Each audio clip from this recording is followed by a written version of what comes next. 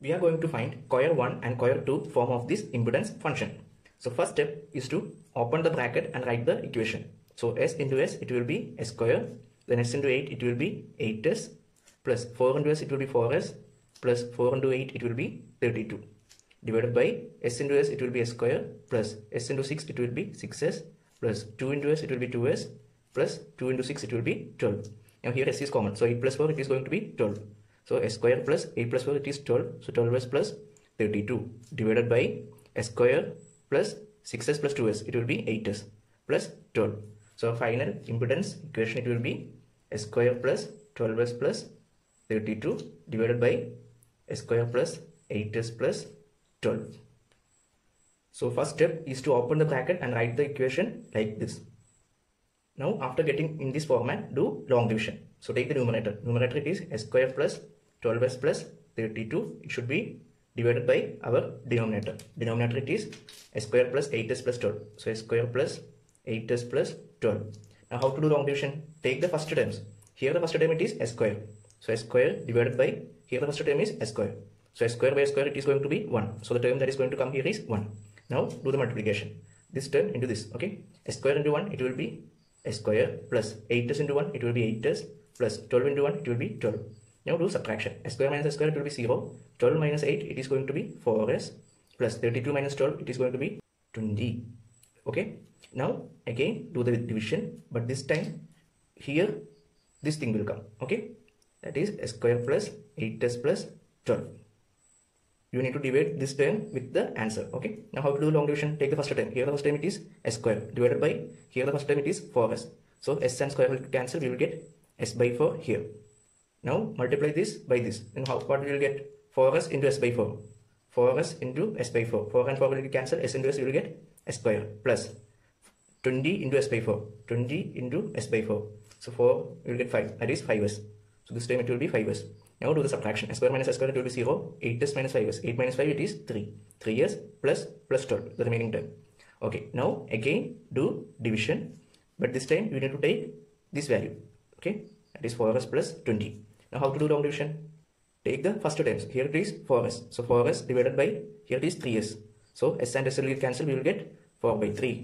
Now multiply this with this. So 3s into 4 by 3. 3s into 4 by 3. 3 and 3 will get cancelled. We will get 4s plus 12 into 4 by 3.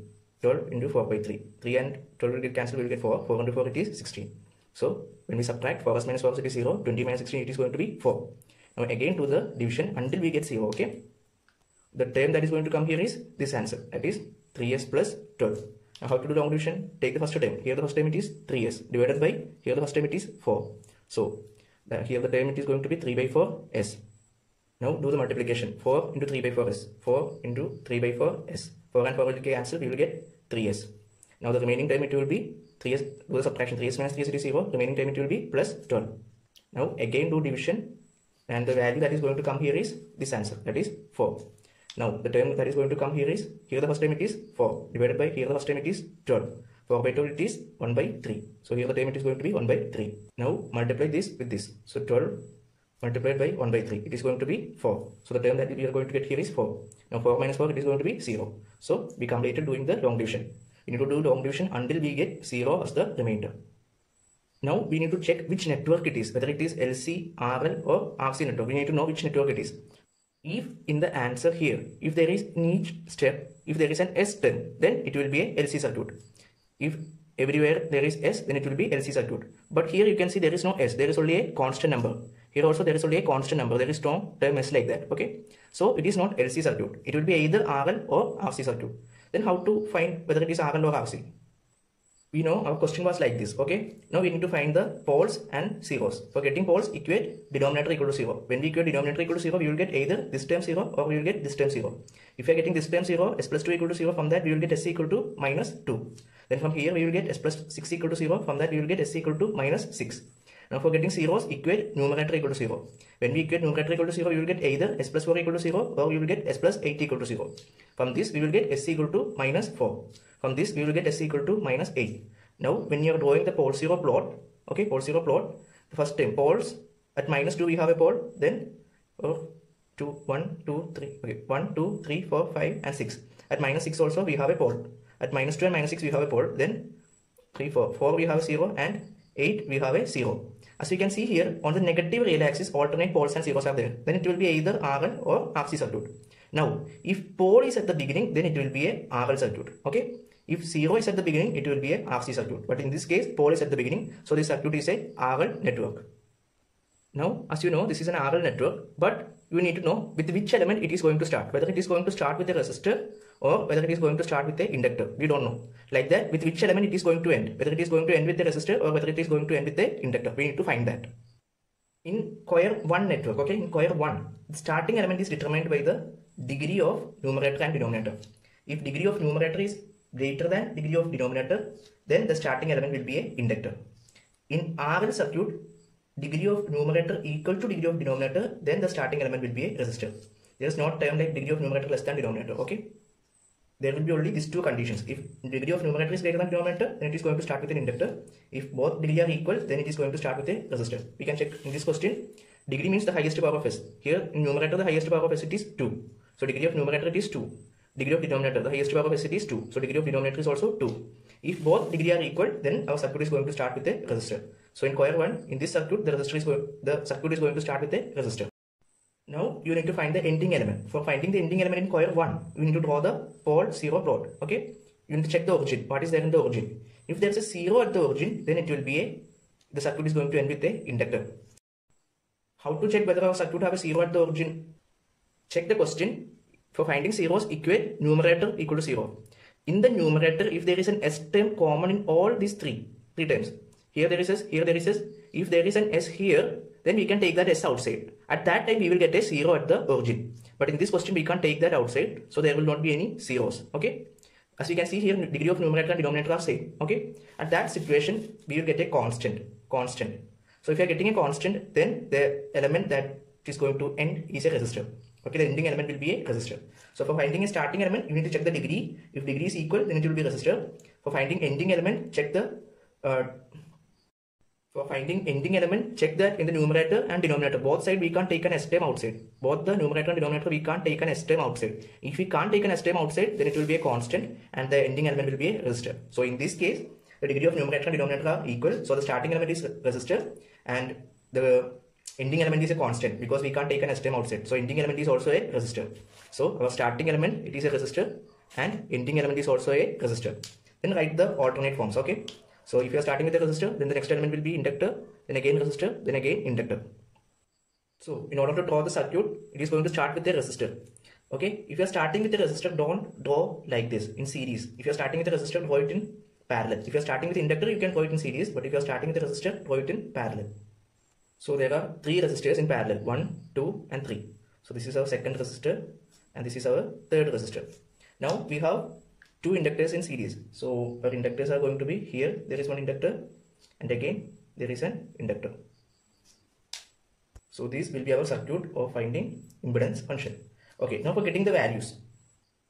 The resistors values first all we can write. For resistors values, it will be constant values. You need to take the reciprocal because it is connected in parallel. You need to take the reciprocal in Cauer 1. Okay, listen carefully in Cauer 1. You need to take the reciprocal. So 1 by 1, it will be 1 itself. Here it is 4 by 3. So the reciprocal it will be 3 by 4. Here it is 1 by 3. So the reciprocal of that is 3 by 1. That is 3. And for finding the values of inductor, inductor are in series. So you can directly write the value. You don't want to take the reciprocal. Okay. So this is S. The near S is 1 by 4. So the inductor value is 1 by 4.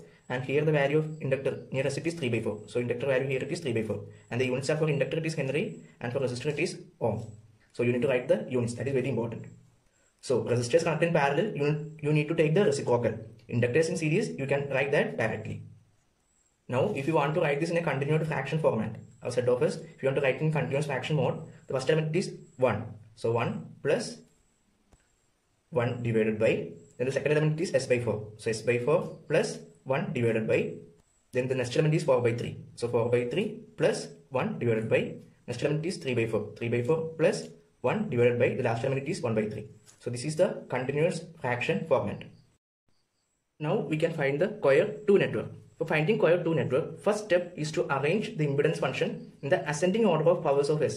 So here it is 2, 1, 0 like that. We need to write in the ascending order 0, 1, 2 or in the reverse order. There is 6 plus 8s plus 2s square divided by here also in the reverse order that is 12 plus 8s plus s square.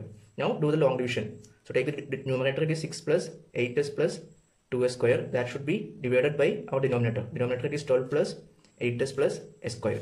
Now doing how to do division take the first term. Here the first term it is 6. That should be divided by the first term of here. Here the first term it is 12. So 6 by 12 it is going to be 1 by 2. So the term that is going to come here it is 1 by 2. Now multiply this by this. So we will get 12 into 1 by 2. That is 12 by 2 it is going to be 6 plus 8s into 1 by 2. 8s into 1 by 2. 8 and 2 will get cancelled we will get 4s. So this time it is 4s. Now s square into 1 by 2. s square into 1 by 2 it is going to be s square by 2. So plus s square by 2.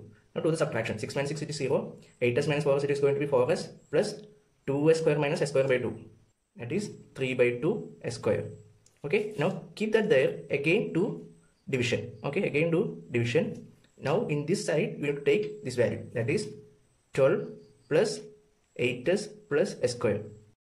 Now take the first term. Here the first term it is 12. Here the first time it is 4s. So 12 divided by 4s. 4 and 12 cancel, we will get 3. 3 by s. So the term that is going to come here is 3 by s. Now multiply this by this. So 4s into 3 by s. 4s into 3 by s. s and s will get cancelled, we will get 12. Plus 3 by 2 s square into 3 by s. 3 by 2 s square into 3 by s. So s and square will get cancelled and 3 and 3 it will be 9. 9 by 2 s. So this time it will be 9 by 2 s. Now do the subtraction. 12 minus 12 it is going to be 0. 8 minus 9 by 2 it is going to be 7 by 2 the quotient here that is s plus the remaining term that is s square. Now keep that there then again do division. This time we have to take this value here that is 4s plus 3 by 2 s square. Now again do division. Here the first time it is 4s. 4s divided by here the first time it is 7 by 2s. 7 by 2s. s and s will get cancelled. This 2 will go on the numerator. So 4 into 2 is 8. 8 by 7. So the term that is going to come here is 8 by 7. Now you need to multiply this with this. Okay? 7 by 2 s into 8 by 7 7 by 2 s into 8 by 7 7 and 7 will get cancelled. 2 and 8 will get cancelled. We will get 4 so we will get 4s plus s square into 8 by 7 it is going to be 8 by 7 s square. Now do the subtraction. 4s minus 4s it is going to be 0 3 by 2 minus 8 by 7 you can use the calculator. 3 by 2 minus 8 by 7 it is going to be 5 by 14 5 by 14 and the quotient of that is s square okay now keep that there again do division this time you need to take the value that is coming here the final answer that is 7 by 2s plus s square. You will take this value here, this value here like that it will go, okay. Now here the first time it is 7 by 2s. So 7 by 2, 7 by 2, 7s by 2 divided by 5 by 14 s square. Here the first time and here the first time. Here the first time 7s by 2, here the first time 15 s square by 14. Sorry, 5 s square by 14. Now s square and s will get cancelled. Now taking this to the numerator it will become 7 by 2 into 14 by 5. This is 5 by 14. Going to the numerator it will become 14 by 5. 2 and 14 will get cancelled, we will get 7. 7 to 7 is 49. So we will get 49 by 5. And there is one s here. So 49 by 5s. So the term that is going to come here is 49 by 5s. Now multiply this with this. That is 5 by 14. 5 square by 14 multiplied by 49 by 5s. 49 by 5s. 5 and 5 will get cancelled. For s square and s will get cancelled. We will get 49 by 14 s. So 7 7s are 49. 7 2s are 14. We will get 7 by 2s. So here the term is 7 by 2 s. Now do the subtraction. Subtracting this we will get 0 and the remaining term it will be s square. The remaining term. Now again do the division. This time you need to take the value here. That is 5 by 14 s square. Okay. Now here the first term it is 5 by 14 s square divided by s square. So s square and s square will get cancelled. We will get the value here 5 by 14. We get the value 5 by 14. Now when we multiply square into 5 by 14 we will get 5 by 14 s square. Then when we subtract we will get the answer as 0. So do the long division until we get a 0. Now we know that this is an RL network, but we need to know the starting element, whether it is going to start with the resistor or whether it is going to start with the inductor. Like that, we need to know the ending element also, whether it is going to end with the inductor or whether it is going to end with the resistor. Listen carefully. In Cauer 2, starting element is determined by the origin, whether we have a 0 at the origin or it is a constant. For getting 0, if you are getting a 0 at the origin, then the starting element will be a inductor. If you are getting a constant, then the starting element will be a resistor. Okay, in this question we can check whether we will get a 0. If for getting 0, we need an S term, a common S term in the numerator. For getting zeros, numerator, when we get numerator equal to 0, we will get 0. When we get denominator equal to 0, we will get poles. But we don't want to check poles here, we only want to check zeros in our network, okay? For checking whether there is a 0, check whether there is an S term in all these three terms. Here there is S, here there is S, but here there is no S. So we are going to get a constant. That means our starting element will be a resistor. Now for finding the ending element, For finding the ending element, you need to check the degree. Okay. If degree of numerator is greater than denominator, then the ending will be inductor. If degree of numerator equal to degree of denominator, then the ending will be a resistor. In this question, the degree of numerator is 2. The degree of denominator is also 2. So the ending element will be a resistor. So ending element is a resistor. So here it is a resistor. Starting element is a resistor. Starting element is also a resistor. So here also resistor. Now we are going to draw the network. In Cauer 2, this is very important. In Cauer 2, if you are starting with a resistor, we can draw it in series. In Cauer 1, if you are starting with a resistor, we will draw it in parallel. Okay, in shunt. Here in Cauer 2, we are getting a resistor, we will draw it in series.